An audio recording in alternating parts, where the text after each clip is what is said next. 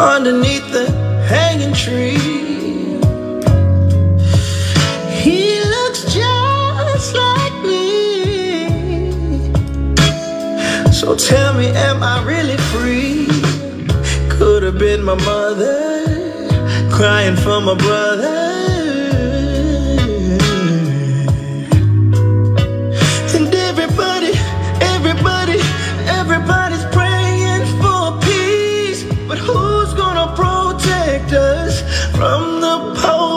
Keep these chains off me.